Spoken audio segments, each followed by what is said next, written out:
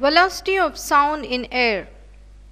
Velocity of sound in air is equal to V is equal to square root of gamma p by p, where small p is the density and capital P is the pressure of the air.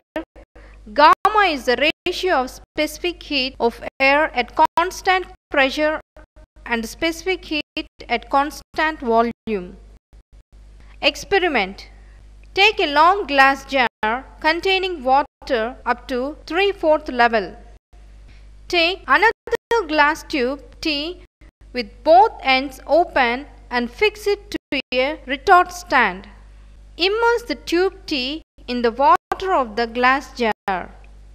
The air inside the tube T will be confined to the length of the tube and is said to form an air column. The air column will have a length L above the level of the water in the tube T. Take a tuning fork and strike the prongs of the fork with rubber hammer. Hold the vibrating tuning fork just above the air column in T.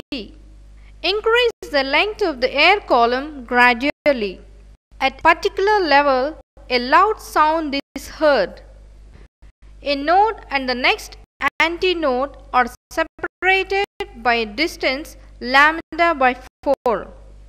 When the frequency of the air column becomes equal to the frequency of the tuning fork vibrating over it, a loud sound is heard due to resonance.